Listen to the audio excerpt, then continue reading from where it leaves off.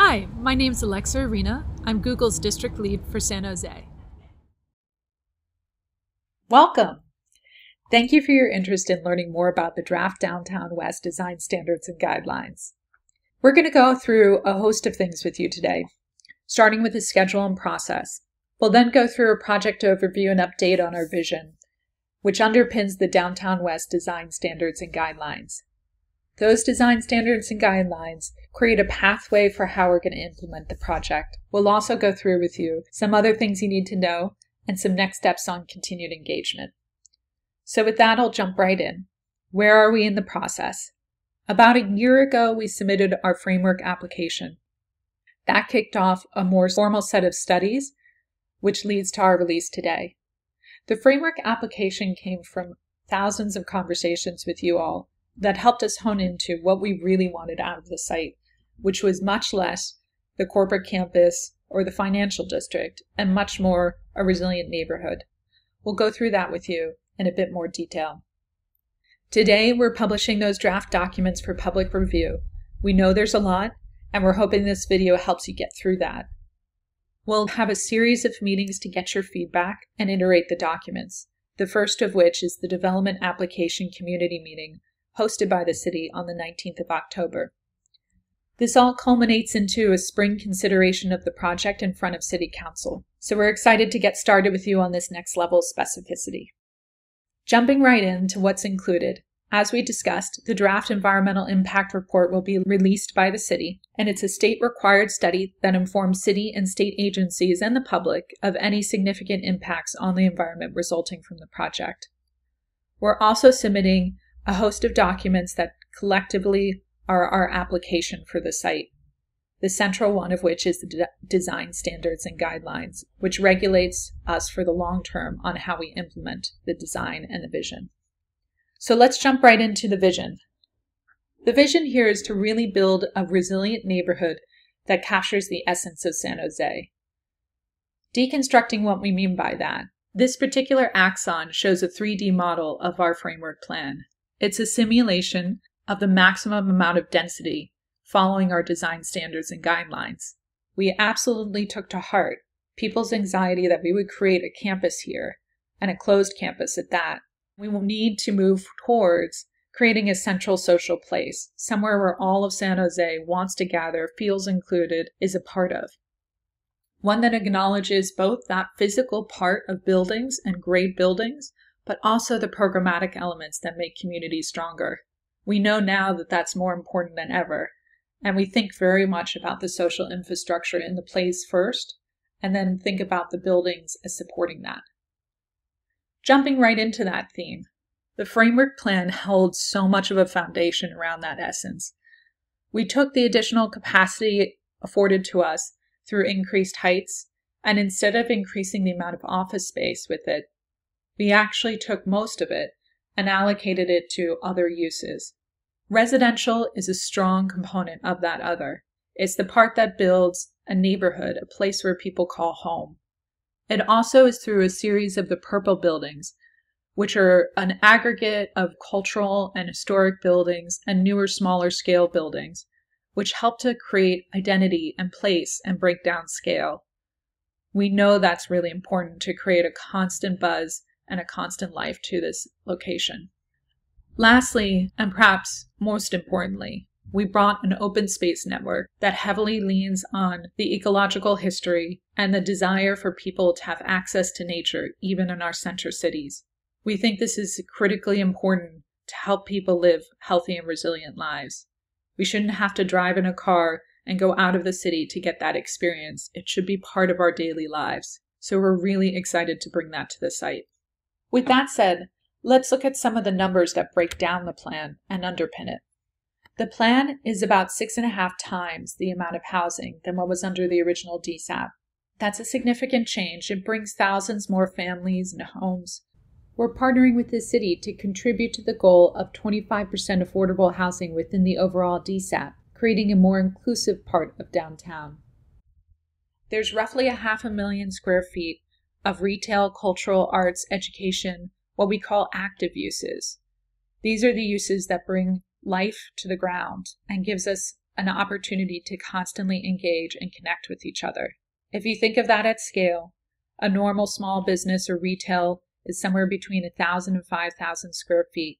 Of course, cultural arts and education users can be bigger and scale up, but it shows you the level of significance of density that we can get on the site for a lot of activation and to create that social heart. As we discussed, there's also 15 acres of parks and open space. And importantly, part of that network is giving a variety of acreage back to expanded riparian habitat and to ecological resources. We think this is important not only to nature and the environment, but to people. If we can't have closer access to deep and immersive nature, we're not going to live the type of healthy and resilient lives we're after. There's a lot of literature on this that we're happy to share with you. We also feel really confident at getting to zero net new emissions. Doing that is a huge step forward in our fight against climate change, which we can experience so acutely in Northern California today. We assured you that we would work to find business models in order to handle some of our biggest crises and social issues that confront us today. And we think this is a big innovation to help get us there. We want to thank the City of San Jose for working with us on models around microgrids and even creating a water capture system on site to treat our water, which helps us achieve this goal and create a model that we hope expands well beyond our boundary and well beyond San Jose. We think this is a really good sign that we're all on the right path together to make this something that is about San Jose, not about Google. So, with that, I want to jump into how we realize and deliver on this project. We're going to talk to you a lot about design today, but really, that design is the reflection of the type of experiences and the programs and partnerships that we want to realize on this site. We have a design team that doesn't think about the building and the object first, but thinks about the ground, the civic life, the public realm up, and it helps influence the design outcomes of what you're going to see today. That people first approach is so critical to us because we can't achieve it if we think building down. And we're really proud to bring on a group of people who are very cutting edge in this space, including SiteLab and Laura Crescimano, who you hear from shortly. That being said, we hope you can also see that through our renderings. We thought very carefully about all the feedback we've gotten from the community, the type of experiences people were after. A big theme people had was the learning layer, the idea that there would be immersive learning and accessibility and education for all generations within the site. We leaned into that idea in the Gateway Plaza. Gateway Plaza is framed around the water company building, an historic building on the site, and it runs along Santa Clara Street. So when you look at the public plaza, you'll notice it's highly flexible and adaptable. It's designed to have pop ups, to have different events that rotate, that create a surprise and intrigue every time you come to the site. You can also see the ground floor of the office building that's holding a couple different programmatic uses. The first is a shared space between, in this rendering, two organizations, but that represents a broader dedication to having a consortium like space for progressive nonprofits who are working through how to make technology and the tech industry more accessible. Those two in this rendering are Year Up, who's already taking space on the site and we're really looking forward to our continued partnership with, and the Tech Challenge, who does a phenomenal job thinking through how to combat social problems using technology. Behind that, you can see an auditorium. That auditorium is really leaning into an idea that we heard from you all as well, Real estate is one of the most underutilized assets we have, and it's one of the most expensive ones. So the idea here is to have a Google auditorium, but one that's shared use with the community. And so it's constantly on and constantly utilized, while the capital expense is borne by Google. That'll help just create more efficiency to the space and create more access to those types of resources, which we think is really appropriate for a learning center.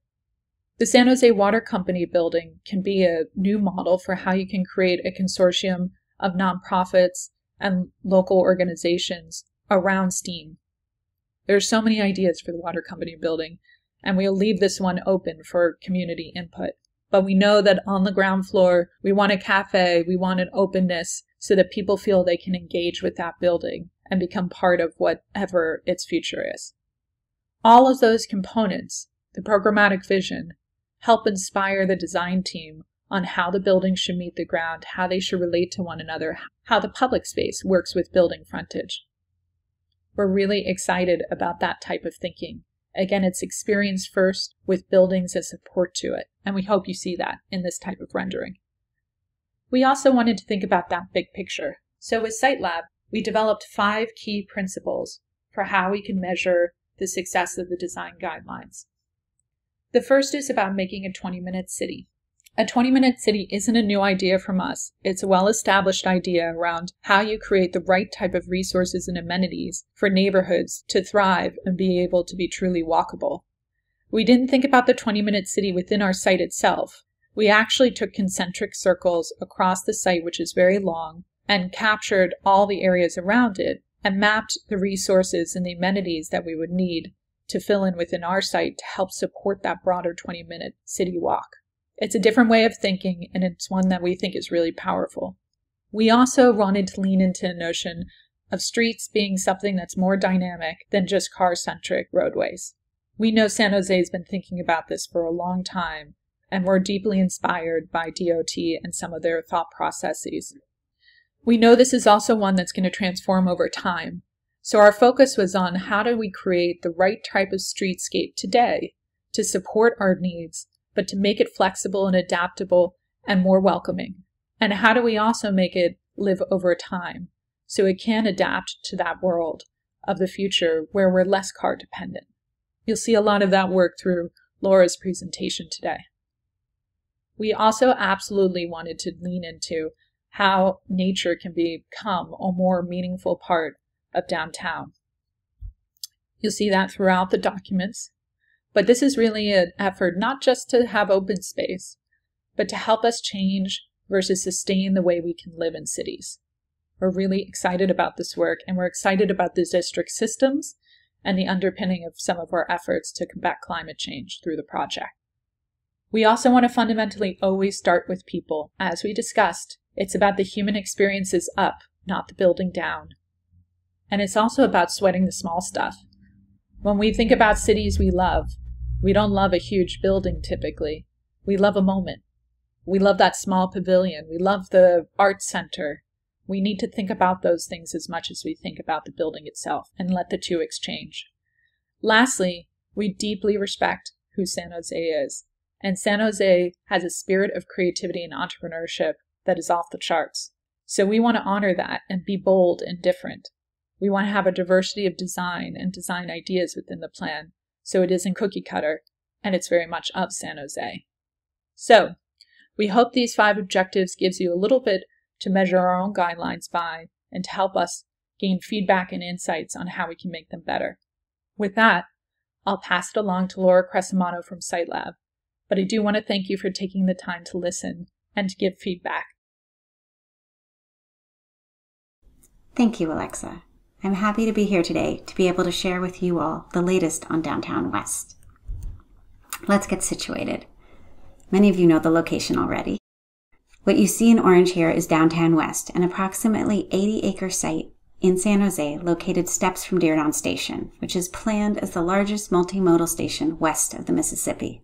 Immediately east runs Los Gatos Creek and Guadalupe River. This is what we start from. Fundamental to the approach of myself and my firm, SiteLab Urban Studio, is to work from the ground up. We work from what makes this spot unique itself, the creek, the rail, and the neighborhoods of this part of San Jose, so that what we propose could only be here. And we add these new ingredients of housing, office, retail, and more to create a new extension of the city of San Jose, one that is connected, diverse, and resilient. So when we look at this site, Downtown West is long and skinny. You see it outlined here in a black dash. It's about a mile from north to south. And it sits, as I said, between the rail and the creek, but also between a number of neighborhoods, with each edge a different character and opportunity to connect. As you can see in our design for the framework plan, this is not an office park or enclave. The streets connect through. Office, shown in blue here, is predominantly along the rail, Residential meets residential. You can see that in yellow. And then smaller buildings in pink, historic and new buildings create contrast and act as anchors for activity education, and neighborhood amenities. These amenities anchor a network of trails, parks, and plazas that bring nature in and stitch downtown West together, as well as together with each nearby neighborhood, so that wherever you are, you are connected to the next experience and to San Jose beyond.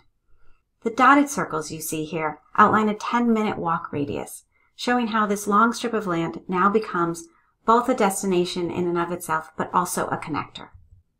As Alexa described, this is an ambitious project with 7.3 million square feet of office and 4,000 to 5,900 units of housing, as well as the retail, cultural, and educational uses. This shows you an illustration of that program in three dimensions. It's not final design, it's not architecture, but it gives you a sense of scale of how this 80 acres can be transformed. So how do we make this a reality? I'm going to share with you what the process is and why we're proposing this process and some of the highlights of the Downtown West design standards and guidelines. You'll hear me mention the DWDSG or the document, and that's what I'm referring to. Let me explain what that is. At 80 acres, we can't approach this project like a single building. With 10 different parks, over 30 buildings, and over 3 miles of street improvements, we need a process that will support an integrated design and that can be phased and evolve. We don't want a cookie cutter type place that's designed all at once. So we need a process that can respond to the context and set up an overall vision that can iterate and learn with each phase. So that's why we've proposed what we're calling a hybrid process for Downtown West. On the left here you see with a single building, it's really about the architecture.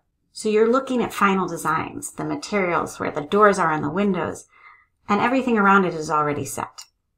At the other end of the spectrum, a specific plan, usually created by a city, covers a larger area and sets general controls for land use and buildings. For Downtown West, we have more detail than the specific plan, but not all the final designs like a single building. You wouldn't want all those 80 acres designed today.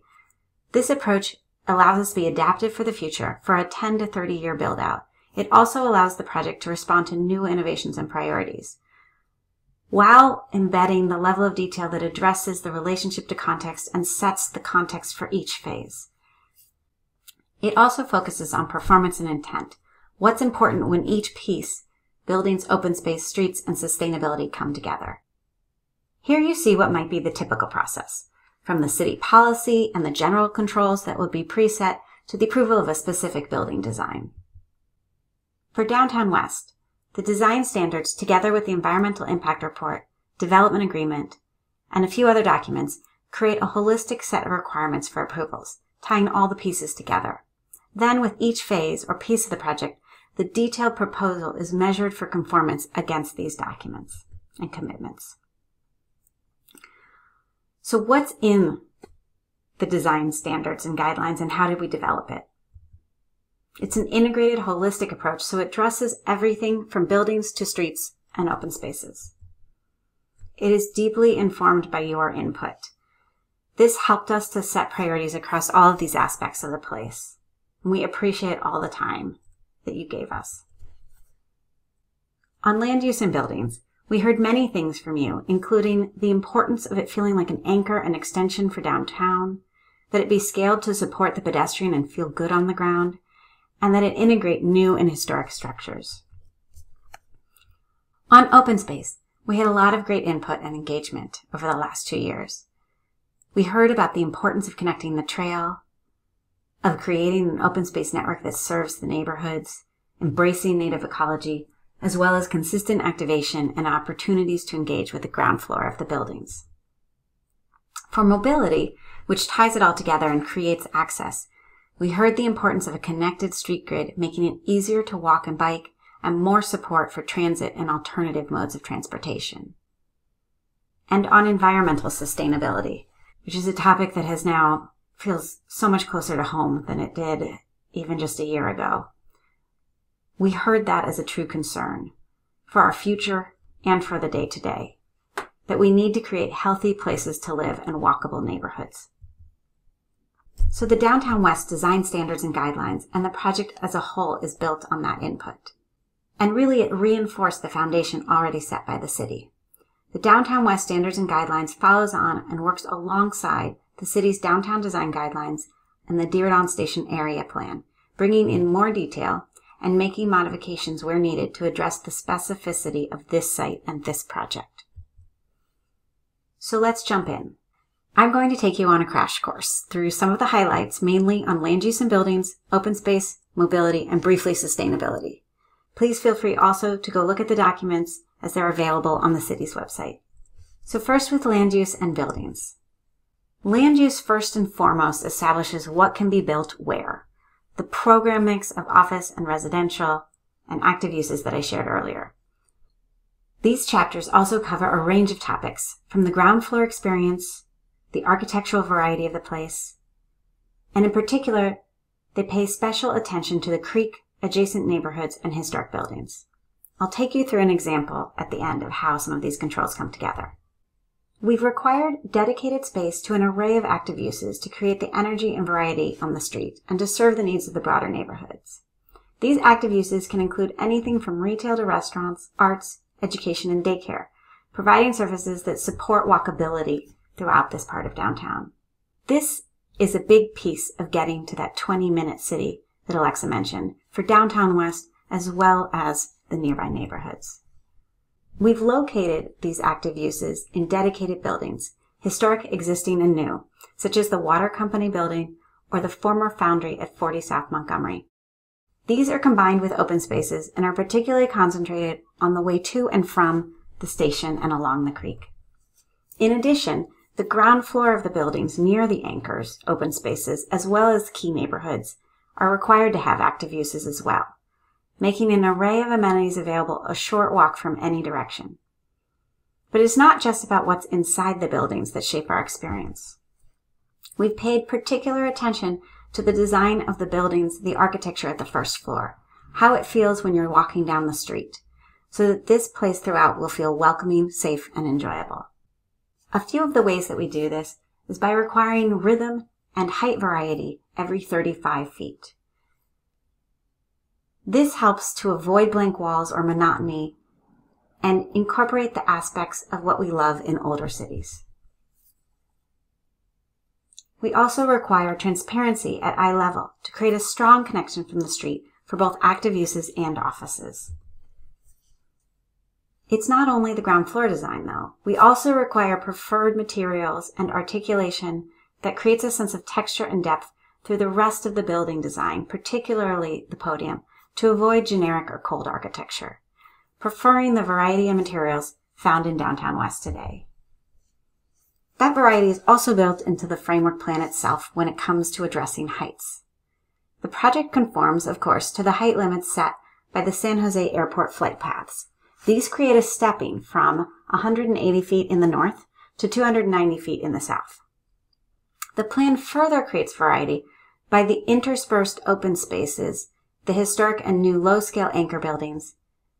And then additionally by juxtaposing office buildings along the rail with narrower residential buildings meeting the neighborhoods.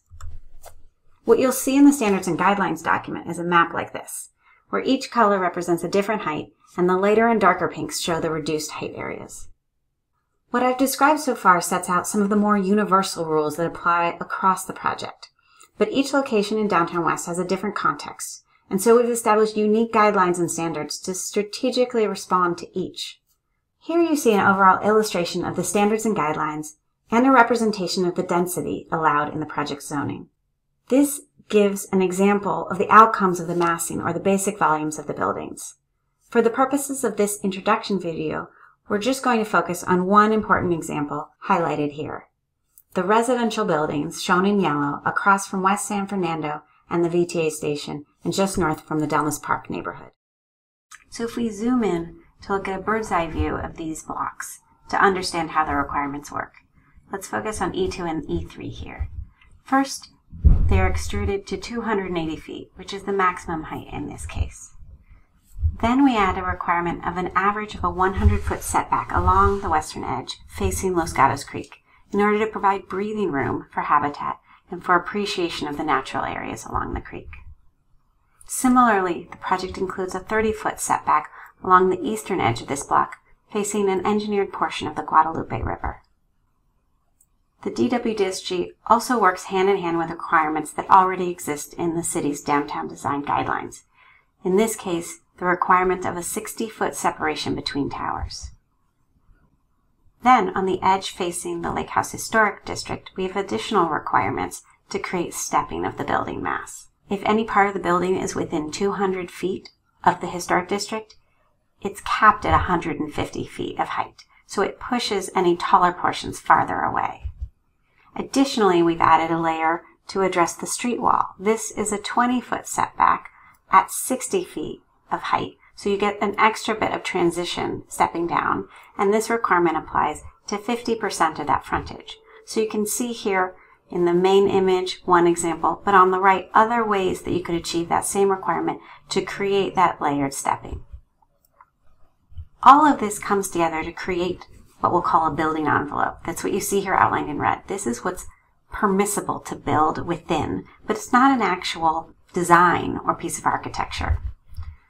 So just to give you an example of what could fit within these set of rules and fulfill this intent, we can see these possible forms. This starts to establish a massing that based on how you might lay out a residential footprint and adjust the location of those different pieces of it comes together inside of that form but you also layer on more of an architectural design, more of the articulation of the facade, as well as the detailing of, say, the, the windows and the materiality added on that starts to give it finer and finer grain. Of course, that's not the only option for how this building could be put together, and you see here a number of other options that could fulfill the same intent. Another example is this view from outside the water company building near Santa Clara. As you can see here, we can't think of this project as a collection of buildings. It's about how all of the pieces are layered one upon the other to make a great place, with the streets and open spaces as the glue that holds it together. So let's look at the open space. The design standards and guidelines here cover the what, where, and how of the parks and plazas as well as the trails. The Los Gatos Creek Trail is an incredible feature, but it's missing pieces right now, as shown here in this drawing of the existing trails. We heard this as one of the most important priorities for open space, to connect the Los Gatos Creek Trail network, which will further connect to the Guadalupe River Trail and stretch to the bay and to the hills. The project adds those missing links, those trail segments, as well as additional on-street bike facilities, just a fraction of which are shown here in purple. I will show the full network later as a highlight of the mobility chapter. There are a number of parks nearby downtown West, from the 250 acre Guadalupe River Park to the Cahill and Del Monte neighborhood parks. Downtown West strengthens the open space network of those parks with 15 acres of new parks and plazas and green spaces that are intentionally distributed to be immediately accessible from every direction. We've established these open spaces to complement the neighborhoods and the new downtown west with more urban character in the center near the station and more green passive spaces along the creek. The different experiences are reinforced by standards that specify different plantings and vegetation based on location. You can see here that range from riparian plantings at the creek to oaks in the north, with native plantings required throughout the open spaces. We also heard from you that you want to see many types of activities to make these spaces truly usable and to complement the parks that already exist. From passive areas for respite to strolling along a boardwalk to places to gather and play with your kids. I think we all feel how important this is now more than ever. Each open space, as a result, has a different combination of these features and activities required. Here you can see a chart from the document. Don't worry, you don't have to read it in this presentation, but essentially this maps out the requirements of each of those features for each park. So there's a set of required programs, but on top of that, there are additional complementary ones to choose from to allow flexibility for the future rather than finalize all of the pieces today. To give you a better sense, I'll walk you through our vision for one open space, the Los Gatos Creek Park, south of Park Avenue. You can see here that today it's hard to experience the creek itself. First off, the buildings are set away from the creek. Then within that space, We require, of course, the multi-use trail on one side to the north and a continuous walking path on the other. We also require understory plantings throughout, an overlook, and a plaza to anchor activities, among other features. All eight of the items shown on the left are required in this park. On the right, we have the complementary programs I mentioned. These include nature play, pavilion structures, kiosks or artwork. Of those, two would be required to be included. So altogether, these elements create certainty of the intent and guarantee this park will expand the creek habitat, give ways for you to visit the creek and enjoy the setting, while still providing flexibility for the final design to respond to evolving needs and to your priorities. Here you get a sense of this one park, where we've zoomed in a little bit. This level of design specificity and requirements can be found in the document for all of the 10 parks and plazas in downtown West, altogether creating a network from this Creekside Park to the more urban Gateway Plaza on Santa Clara that I showed earlier. Connecting all of these parks and places is an improved street network. This brings us to mobility. Mobility covers everything from street design to parking and loading. It builds on the progressive work of the City of San Jose in their complete streets standards and guidelines, further adding a layer of character and intent and advancing the focus on pedestrians, on micromobility, and on ecology so that we can really bring nature in throughout. I'm going to focus on the overall network and show you a few examples. So here this shows the existing street network. You can see that there are several important east-west connections connecting downtown San Jose to West San Jose, like Santa Clara, Park Avenue, San Carlos, but the north-south connections are quite limited. We proposed streets to extend and connect the existing network, adding those north-south connections and grid redundancy. This means we have more variety and better access. We further increase walkability through adding additional pedestrian routes, shown in dotted lines here, including the trail connections mentioned. With this, there will be many more choices to connect from station to neighborhood and beyond. One of those choices is micromobility, primarily getting around by bicycle or say by scooters. Downtown West will add over three and a half miles of new or improved bikeways. That's the pink you see here, the dark pink, which is all designed to connect in to the city's larger bicycle network. It's about function, but it's also about how it feels. If we do start with people, we start with priorities of safety and comfort. So the majority of the bicycle network I just showed is designed with separated bike lanes, in many cases buffered with trees and plantings. We've also concentrated how the different transportation choices connect. We include what we're calling mobility hubs at every transit stop, where at least three amenities are required.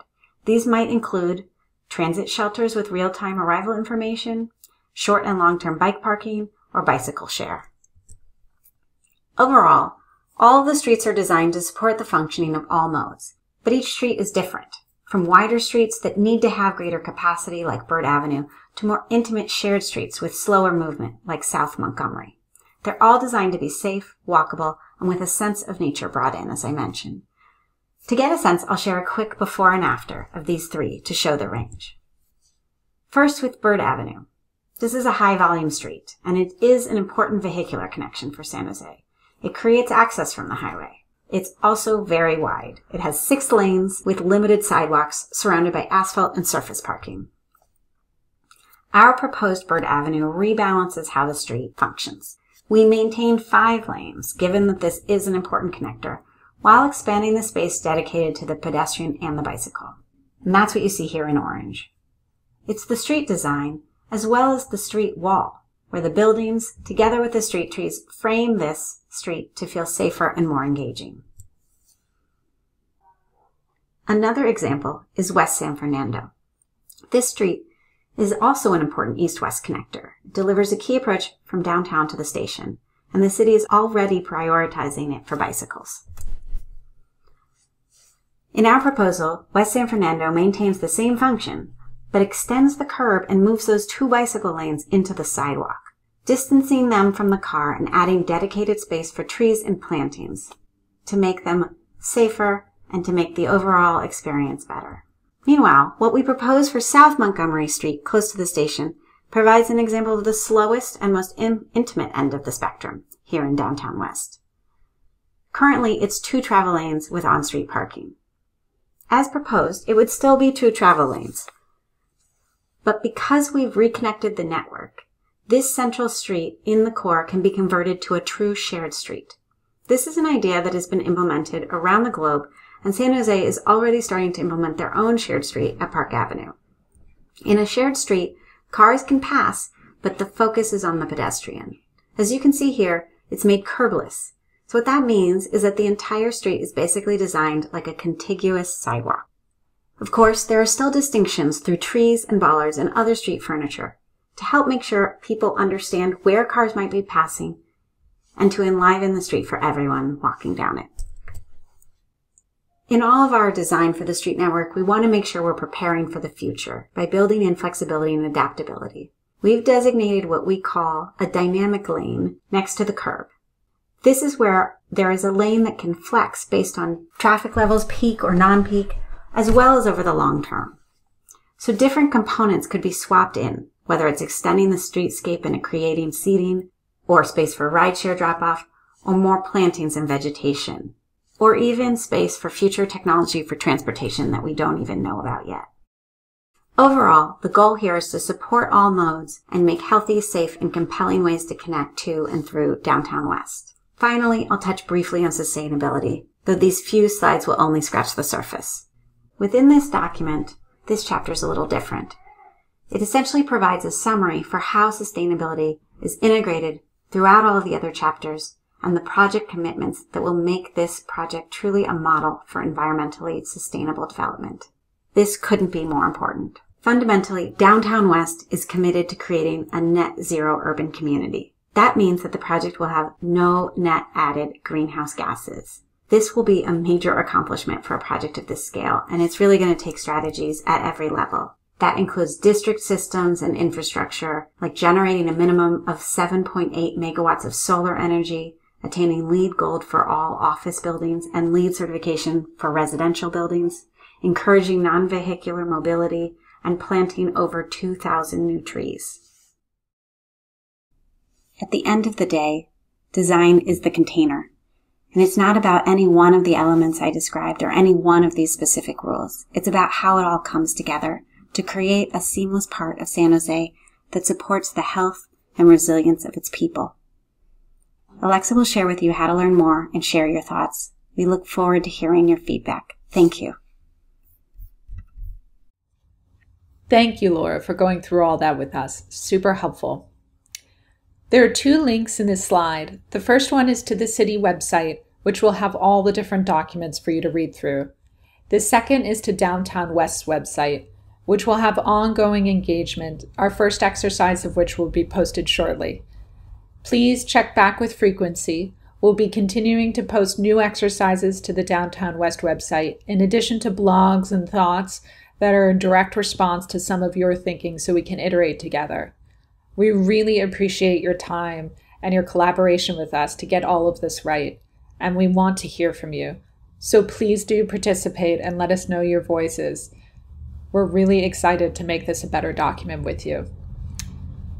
Thank you so much from your time, from the entire Google team. I can't express how appreciative we are. We can do this together, but we can't do it alone. So thank you.